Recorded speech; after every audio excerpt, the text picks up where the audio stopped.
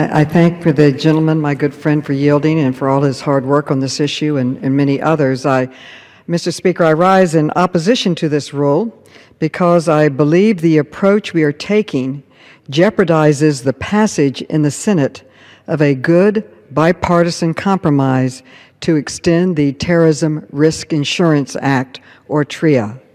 TRIA is incredibly important to New York and to the entire country. And it's critically important that we pass a long term extension of this bill. After 9 11, all construction in New York City stopped. You could not even build a hot dog stand.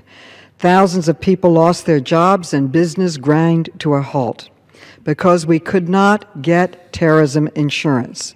The only insurance available was from Lloyd's of London, and it was difficult to get and incredibly expensive.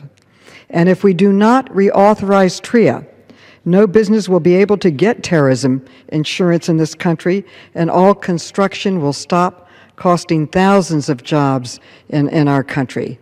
I must say, of all the government programs that helped New York rebuild, I would say this program was the most important, and it did not cost taxpayers one dime.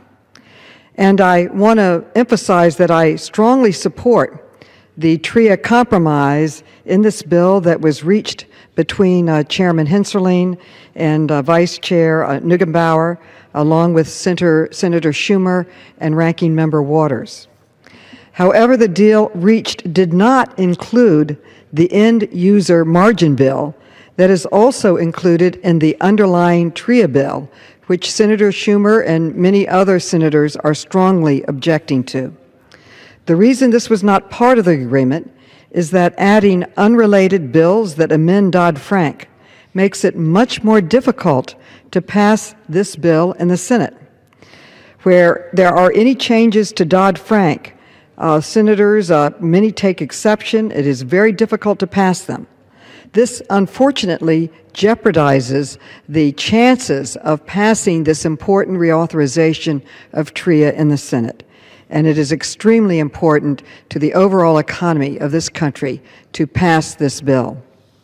Separately, I want to note for the record that I support the end user margin bill, which would simply clarify that end users of derivatives, such as uh, airlines and manufacturers, are not subject to Dodd Frank's uh, margin capital requirements.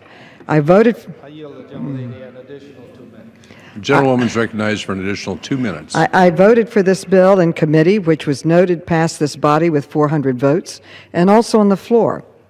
However, with this being said, I strongly oppose this rule because it puts TRIA's passage in the Senate in jeopardy. And this is truly unfortunate.